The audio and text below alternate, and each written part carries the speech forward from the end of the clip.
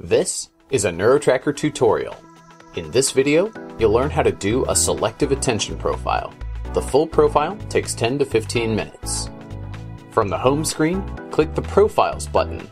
As usual, choose a user and a group. Then choose Selective Attention Test as your mode.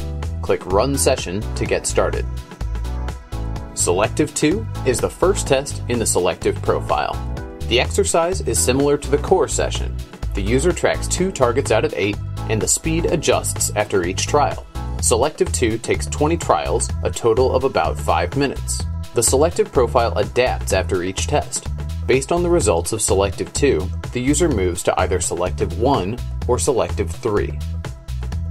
Selective 3 is the second test for most users. It uses the same format as Selective 2 with minor differences. The user tracks 3 targets out of 8 this time, and Selective 3 is 10 trials long instead of 20. Based on the results of Selective 3, the user will either progress to Selective 4 or the profile will end. Selective 4 is the final test for most users. In Selective 4, the user tracks 4 targets out of 8, again for 10 trials. After the user completes it, they get to see their results. Before we look at the results, let's go back to the first test, Selective 2. In rare cases, users have difficulty tracking two targets. Those users move to Selective 1.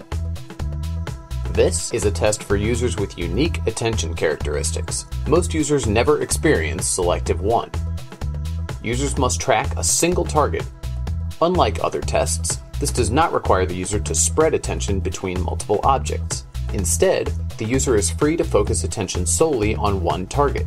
This test is 20 trials long. After the user completes it, they get to see their results. Here are the results from a selective attention profile. We recommend saving the results right away for future reference.